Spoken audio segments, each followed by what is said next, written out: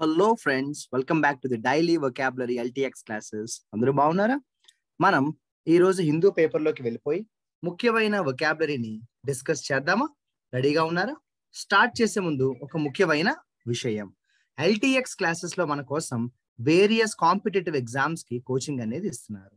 అయితే మీకు English infinity అనే బ్యాచ్ గురించి ప్రత్యేకంగా చెప్పాలి. ఎందుకంటే చాలా కాంపిటేటివ్ ఎగ్జామ్స్ ప్రిపేర్ అయ్యే వారికి ఇంగ్లీష్ పై ఎక్స్ట్రా గైడెన్స్ కావాలి అని చాలా మంది అడుగుతుంటారు చాలా మంది చెప్పారు సార్ మిగిలిన సబ్జెక్ట్స్ మేము కొంతవరకు మా అంతటి మేము చదవగలం కానీ ఇంగ్లీష్కి మాకు సపరేట్ గైడెన్స్ ఉంటే చెప్పండి సార్. అలా చాలా మంది అడగడంతో ఒక ఎక్స్క్లూజివ్ బ్యాచ్ని ఎల్టీఎక్స్ క్లాసెస్లో స్టార్ట్ చేశారు. అదే ఇంగ్లీష్ ఇన్ఫినిటీ బ్యాచ్. ఇది లైఫ్ టైం వ్యాలిడిటీ ఉన్న బ్యాచ్. అంటే ఒక్కసారి మీరు ఫీజు పే చేశారంటే మీరు అనుకున్న సబ్జెక్ట్ పర్ఫెక్ట్గా వచ్చేదాకా రికార్డెడ్ వీడియోసే కాదు లైవ్ క్లాసెస్ కూడా చూడొచ్చు. Just two thousand rupees fee pay చేసి చాలు.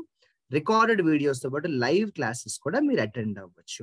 ఇంగ్లీష్ పర్ఫెక్ట్గా నేర్చుకునేదాకా కూడా చక్కగా క్లాసెస్ అనేవి మీరు వినొచ్చు. అయితే అతి ముఖ్యమైన విషయం టూ థౌజండ్ రూపీస్ ఫీజుకి లైఫ్ టైం వ్యాలిడిటీ ఏదైతే ఉందో ఇది ఇంకొక టూ వీక్స్ వరకు మాత్రమే ఉంటుంది. అంటే మే ఫిఫ్టీన్త్ వరకే ఈ ఆఫర్ అనేది ఉంటుంది.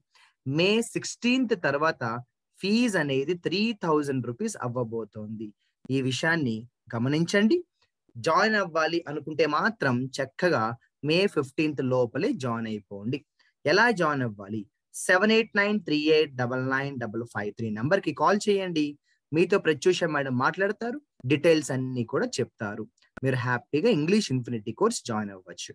ఎందుకు సార్ ఈ కోర్స్ మేము జాయిన్ అవ్వాలి? ఇంగ్లీష్ నేర్చుకుంటే అడ్వాంటేజ్ ఏంటి? నేను ప్రత్యేకంగా చెప్పకపోయినా మీ అందరికీ తెలుసు. ఇప్పుడున్న కాంపిటేటివ్ ఎగ్జామ్స్లో ఇంగ్లీష్ లేకుండా ఏ ఎగ్జామ్ ఉండదు. Reserve bank of India exam తీసుకున్న రిమైనింగ్ బ్యాంక్ ఎగ్జామ్స్ తీసుకున్న స్టాఫ్ సెలక్షన్ కమిషన్ ఎగ్జామ్స్ తీసుకున్న పోలీస్ తీసుకున్న చెప్పుకుంటూ పోతే ఆల్మోస్ట్ ఆల్ కాంపిటేటివ్ ఎగ్జామ్స్లో మన అందరికీ తెలుసు. ఇంగ్లీష్ అనేది ఉంది. కాబట్టి ఇంత ఇంపార్టెంట్ సబ్జెక్ట్ అయిన ఇంగ్లీష్ కోసం మనం తప్పనిసరిగా ఎక్స్ట్రా టైం స్పెండ్ చేయడం చాలా అవసరం. కాబట్టి seven eight nine three eight double nine double five three నెంబర్కి కాల్ చేయండి. చక్కగా ఇంగ్లీష్ ఇన్ఫినిటీ కోర్సులో జాయిన్ అయిపోండి. ఇక ఆలస్యం లేకుండా మనం హిందూ పేపర్లోకి వెళ్ళిపోదామా? అందరూ రెడీగా ఉన్నారా? మీరు చూస్తున్నారు ఈ రోజు అంటే మే సెకండ్కి సంబంధించిన హిందూ న్యూస్ పేపర్. మనం ఉన్నాము పేజ్ నెంబర్ నైన్లో. పేజ్ నెంబర్ నైన్లో సైన్స్కి సంబంధించిన ముఖ్యమైన ఆర్టికల్ ఒకటి వచ్చేసింది. ఇందులో హెడ్ లైన్స్లోనే మనకి చాలా ఇంపార్టెంట్ వొకాబులరీ ఉన్నాయి. ఫస్ట్ వొకాబులరీ రాసుకోండి. Woes W O E S Bose Bose అంటే ప్రాబ్లమ్స్ అని రాసుకోండి. లేదంటే బాధలు అంటాం కదా సమస్యలు బాధలు అంటాము. హాంట్ అంటే వెంటాడడం అమ్మ. చాలా కాలం పాటు వెంటాడి వేధించి ఇబ్బంది పెట్టడాన్ని హాంట్ అంటాము. కాబట్టి సింపుల్గా రాసుకోండి. హాంట్ అంటే ట్రబుల్ అని రాసుకోండి. ఇక ఇంటెంట్ అంటే ఏం లేదమ్మా? ఉద్దేశం. ఇంటెన్షన్ అంటాం కదా అదే అనమాట సో ఇంటెంట్ అంటే ఉద్దేశం అండి. నా ఉద్దేశం అర్థం నా ఉద్దేశం అర్థం చేసుకో అంటాం కదా try to understand my intention అంటాం కదా దాన్ని మనం ఇంటెంట్ అంటాము. అంటే మన యొక్క ఉద్దేశం మన యొక్క అభిప్రాయం అని రాసుకోండి. ఇక మనం కానీ ఆర్టికల్లోకి వెళ్ళిపోయినట్టయితే ఇందులో ఫస్ట్ లైన్లోనే ఒక అద్భుతమైన వొకాబులరీ మన కోసం వచ్చేసింది. అదేంటంటే మొనాస్టిసిజం అన్నారు. మొనాస్టిసిజం చక్కగా రాసుకోండి ప్రశాంతంగా రాసుకోండి. మొనాస్టిసిజం అంటే ఏంటంటే ఒకప్పుడు మనకి మాంగ్స్ ఉండేవారు కదా ఋషులు ఉండేవారు కదా స్పిరిచువల్ పీపుల్ చాలా ఎక్కువ మంది ఉండేవారు కదా ఆ సమయాన్ని మనం మొనాస్టిసిజం అంటాము. మీకు మొనాస్ట్రీ అంటారు ఋషులు స్వామీజీలు ఉండే ప్రదేశాన్ని మొనాస్ట్రీ అంటారు. సో మొనాస్టిసిజం అంటే the time when monks use to live. Monks ఉండేవారు. దాన్ని ఆ టైంని మొనాస్టిసిజం అంటారు. ఇక సీకింగ్ ద ట్రూత్ సీక్ అంటే కోరుకోవడం అమ్మ. సీక్ అంటే ఏంటి అంటే డిజైర్ అని రాసుకోండి కోరిక. కావాలి అని అనుకోవడం అనమాట సీక్ అంటే డిజైర్ అనమాట తర్వాత ఇగ్నోర్ అనే వర్డ్ చాలా సార్లు మనం చెప్పుకోవడం జరిగింది. ఏంటి ఈ ఇగ్నోర్ అంటే? ఒక విషయాన్ని మనం పట్టించుకోకుండా ఉండడాన్ని మనం ఇగ్నోర్ అంటాము. ఒక విషయాన్ని పట్టించుకోకపోవడాన్ని మనం ఇగ్నోర్ అంటాము. ఇలా చూసుకుంటూ వెళ్తే మనకి ఇక్కడ ఎన్లైటెండ్ అనే వర్డ్ వచ్చింది మనందరికీ బాగా తెలుసు. ఇందాక చెప్పిన ఇగ్నోర్కి మీరు ఏం రాసుకుంటారంటే నాట్ టేకింగ్ సీరియస్లీ అని రాసుకోండి. ఇగ్నోర్ అంటే నాట్ టేకింగ్ సీరియస్లీ ఎన్లైటెండ్ అనే మంచి ఒకాబులరీ వచ్చింది గమనించండి. ఎన్లైటెండ్ అంటే ఒక విషయాన్ని తెలుసుకోవడం అమ్మ రియలైజ్ అని రాసుకోండి. రియలైజ్ అని రాసుకోండి. చాలా ఇంపార్టెంట్ వర్డ్ ఒకటి వచ్చేసింది గమనించండి. మునిఫిసెంట్ అనే వర్డ్ అయితే మన కోసం వచ్చేసింది. మునిఫిసెంట్ అంటే వెరీ ఫ్రెండ్లీ అని రాసుకోండి. మునిఫిసెంట్ అంటే ఫ్రెండ్లీ లేకపోతే కైండ్ అని కూడా రాసుకోండి. మునిఫిసెంట్ అంటే కైండ్ లేదా ఫ్రెండ్లీ అంటాం. ఇలైట్స్ అంటే రిచ్ పీపుల్ అని రాసుకోండి. రిచ్ పీపుల్ని ఇలైట్స్ అంటాము. ఇలైట్స్ అంటే రిచ్ పీపుల్ అని రాసుకోండి. చాలా ముఖ్యమైన వర్డ్. ఇలైట్స్ అంటే రిచ్ పీపుల్ అని రాసుకోండి. ఇలా మనం చూస్తూ వెళ్ళినట్టయితే ఇక్కడ పర్పటెడ్ పర్పస్ అన్నారు. ఇదిగోండి. ఎటువంటి పర్పస్ అటండి? పర్పటెడ్ పర్పస్ అన్నారు. పర్పటెడ్ పర్పస్ అంటే ఏంటి? పర్పటెడ్ అంటే అది ఉంది అని అంటున్నారు కానీ అది ఉందో లేదో ఖచ్చితంగా ఎవరికి తెలియదు అంటే ఎలిజిడ్ అని రాసుకోండి. పర్మిటెడ్ అంటే ఎలిజిడ్. అంటే అది అందరూ ఉంది అని అంటున్నారు. కానీ అది ఉందో లేదో ఎవరికి తెలియదు అంటాం కదా. అటువంటి దాన్ని మనం పర్పెటెడ్ అంటాము. అటువంటి దాన్ని మనం పర్పెటెడ్ అంటాము. ఓకేనా అండి? ఇలా మనం చూస్తూ వెళ్ళినట్టయితే ఇదే ఆర్టికల్లో మనకి తర్వాత ఒక మంచి వొకాబులరీ అయితే వచ్చేసింది. ఎండీవర్ ఎండీవర్ అంటే మనం ఏదైతే భవిష్యత్తులో ఒక ప్రయత్నం చేద్దాం అనుకుంటున్నామో దాన్ని ఎండీవర్ అంటాము. సో ఎండీవర్ అంటే సింపుల్గా రాసుకోండి. ఓ రకంగా చెప్పాలంటే ఎండీవర్ అంటే ఏమని రాసుకుంటారంటే ఫ్యూచర్ ప్లాన్ అని రాసుకోండి. ఎండీవర్ అంటే ఫ్యూచర్ ప్లాన్ అని రాసుకోండి. ఇదే పారాగ్రాఫ్లో చూడండి టౌటెడ్ అనే ఒక మంచి మంచి వొకాబులరీ అయితే మన కోసం వచ్చేసిందండి. ఏంటండి? టౌటెడ్ అనే వొకాబులరీ మనందరి కోసం వచ్చింది. టౌటెడ్ అంటే ఏంటండి? టౌటెడ్ అంటే ఏంటంటే అటెంప్ట్ టు సెల్ సంథింగ్ అని రాసుకోండి. ఒక దాన్ని అమ్మే ప్రయత్నం చేయడాన్ని టౌటెడ్ అంటాము. అంటే అటెంప్ట్ టు సెల్ సంథింగ్ ఒకదాన్ని అమ్మే ప్రయత్నం చేయడాన్ని టౌటెడ్ అంటాము. ఇక చూసుకుంటే వెళ్తే నెక్స్ట్ పారాగ్రాఫ్కి మనం వచ్చేయడం జరిగిందండి. ఈ నెక్స్ట్ పారాగ్రాఫ్లో మనం ఎటువంటి ఇంపార్టెంట్ వొకాబులరీ ఉన్నాయో చూస్తూ వెళ్ళినట్టయితే ఇక్కడ గమనించండి. హోవర్స్ అనే ఒక మంచి వొకాబులరీ అయితే వచ్చిందండి. హోవర్స్ అంటే ఏంటి? హోవరింగ్ అంటే ఏంటంటే ఒకే చోట ఉండిపోవడం అండి. హోవరింగ్ అంటే ఏంటంటే ఒకే చోట ఉండిపోవడం. Okay remain in the same place అని రాసుకోండి.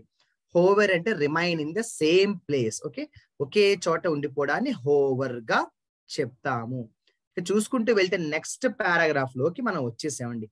నెక్స్ట్ పారాగ్రాఫ్లో చూడండి మినిస్క్యూల్ అనే ఒక వొకాబరీ వచ్చింది. మినిస్క్యూల్ అంటే చాలా తక్కువ అండి. వెరీ స్మాల్ అని రాసుకోండి.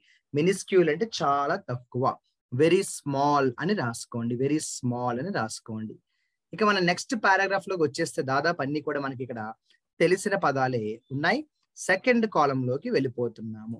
అయితే ఈ వీడియో చూడడం పూర్తయిన తర్వాత వొకాబులరీ ఎలాగో మనం వింటున్నాం కాబట్టి ఈ ఆర్టికల్ని చదవండి. చాలా బాగుంది ఆర్టికల్ సైన్స్ గురించి సరేనా? ఇక మనం ఇందులో చూసుకుంటూ వెళ్ళినట్టయితే నాన్న మనకి దాదాపుగా అన్ని కూడా తెలిసిన పదాలే ఉన్నాయి. ఇదిగోండి బార్న్ అవుట్ అనే వర్డ్ వచ్చింది.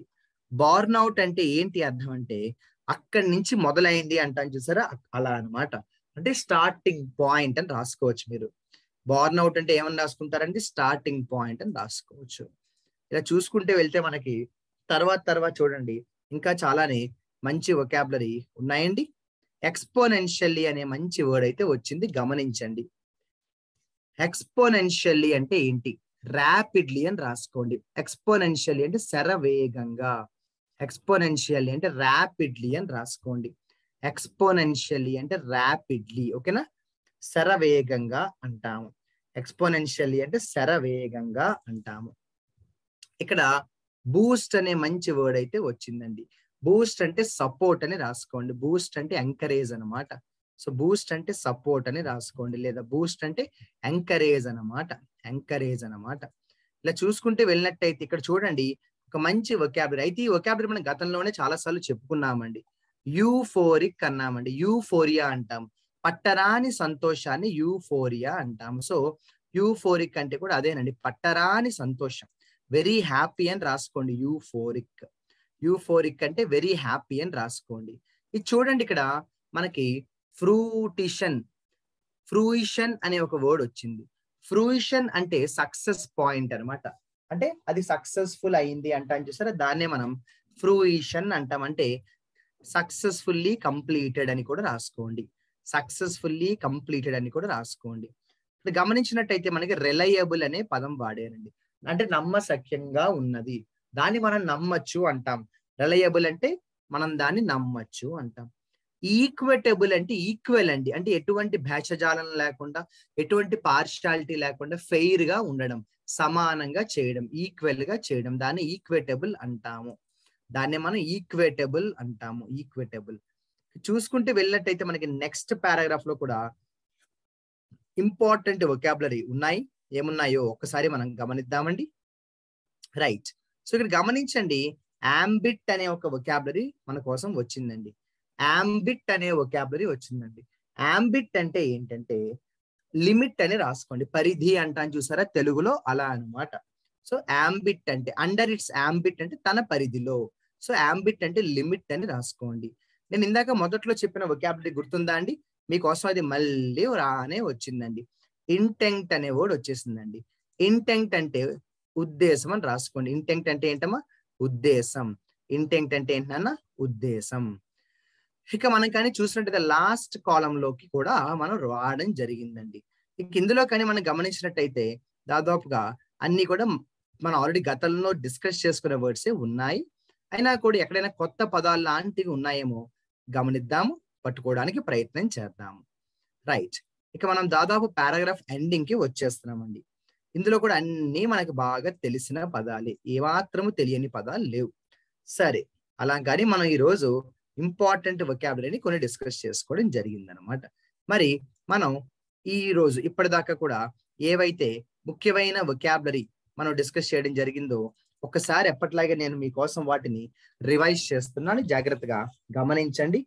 నేను మొదట్లో మీకు వోస్ అనే ఒక పదాన్ని పరిచయం చేశాను. వోస్ అంటే బాధలు కష్టాలు అంటాం. హాంట్ అంటే వెంటాడి వెంటాడి ఇబ్బంది పెట్టడం అనమాట ఇంటెంట్ అంటే ఏంటి మై డియర్ ఫ్రెండ్స్ ఇంటెంట్ అంటే ఏంటంటే ఉద్దేశం అనమాట ఇంటెన్షన్ ఒపీనియన్ అంటాం కదా. మరి ఒకప్పుడు ఒకప్పుడు వీళ్ళు ఉండేవారు ఎవరు? స్వామీజీలు మాంగ్స్ ఉండేవారు. మరి అటువంటి సమయాన్ని ఏమనేవాళ్ళం? మొనాస్టిసిజం అనేవారు చాలా important word my dear friends monasticism అలాగే ఎన్లైటెండ్ అనే మంచి వొకాబులరీ మన అందరి కోసం వచ్చేసిందండి. ఎన్లైటెండ్ అంటే ఏంటంటే ఓ రకంగా చెప్పాలంటే ఎన్లైటెండ్ అంటే ఏంటంటే జ్ఞానోదయం కలిగింది అంటాం కదా రియలైజ్ అయ్యామంటాం అలాగే మునిఫిసెంట్ అనే వర్డ్ చాలానే ఇంపార్టెంట్ వర్డ్ అండి. మునిఫిసెంట్ అనే వర్డ్ చాలానే ఇంపార్టెంట్ వర్డ్ మునిఫిసెంట్ అంటే కైండ్ అని రాసుకోండి మంచి అంటాం. ఇలైట్ అండి. ఇలైట్స్ అంటే రిచ్ పీపుల్ అని రాసుకోండి. రిచ్ పీపుల్ అని రాసుకోండి. పర్పెటెడ్ అంటే అలెజ్డ్ అండి. అంటే అర్థం ఏంటంటే అలెజ్డ్ అంటే అర్థం ఏంటంటే అది జరిగింది అంటున్నారు కానీ జరగచ్చు జరగకపోవచ్చు అంటామండి. అలాగే ఎండీవర్ అనే మంచి వొకాబులరీ కూడా వచ్చేసింది మై డియర్ ఫ్రెండ్స్ ఎండీవర్ అంటే ఏంటి అంటే ఫ్యూచర్ ప్లాన్స్ అనమాట ఎండీవర్ అంటే ఫ్యూచర్ ప్లాన్స్ అనమాట ఇక టౌటెడ్ అన్నారు చూడండి. టౌటెడ్ అంటే అటెంప్ట్ టు సెల్ సంథింగ్ అమ్మే ప్రయత్నం చేయడాన్ని టౌటర్ అంటారు. అలాగే హోవర్ అనే మంచి వొకాబులరీ కూడా వచ్చిందండి. హోవర్ అంటే ఒకే చోట కదలకుండా ఉండిపోవడం అనమాట అండి. ఒక చోట మనకి పాల్ట్రీ అనే వర్డ్ కూడా చెప్పడం జరిగిందండి. పాల్ట్రీ అంటే స్మాల్ అండి. స్మాల్ లాంటి వర్డ్ మరొకటి కూడా చెప్పడం జరిగిందండి. మినిస్క్యూల్ గుర్తుందా? మినిస్క్యూల్ అంటే కూడా వెరీ స్మాల్ అంటామండి. ఒక చోట మనకి బార్న్ అవుట్ అనే వొకాబులరీ వచ్చిందండి. బార్న్ అవుట్ అంటే ఏంటంటే స్టార్టింగ్ పాయింట్ లాంటిది అనమాట అలాగే మై డియర్ ఫ్రెండ్స్ ఒక చోట మనకి ఎక్స్పోనెన్షియల్లీ అనే వర్డ్ కూడా గమనించండి వచ్చిందండి. ఎక్స్పోనెన్షియల్లీ అంటే కూడా ర్యాపిడ్లీ అంటామండి. శరవేగంగా అంటాం కదా అలా అనమాట పట్టరాని సంతోషాన్ని మనం ఏమంటామంటే యూఫోరియా అంటామండి. యూఫోరియా అంటే పట్టరాని సంతోషం అనమాట అలాగే ఒక చోట మనకి ఫ్రూయిషన్ అనే వర్డ్ అయితే రావడం జరిగిందండి. ఫ్రూయిషన్ అంటే పని పని సక్సెస్ఫుల్గా పూర్తయింది అంటామండి. సక్సెస్ఫుల్లీ కంప్లీటెడ్ టాస్క్ అంటామండి.